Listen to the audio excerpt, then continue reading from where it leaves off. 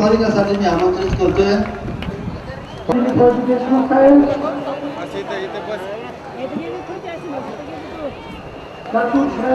जिल्हा परिषदेच्या अध्यक्षा सौभाग्यवती प्रतिभाताई पाटील आपण काँग्रेस पक्षांचे विचार लोकांपर्यंत पोहोचवण्याचं काम केलेलं आहे.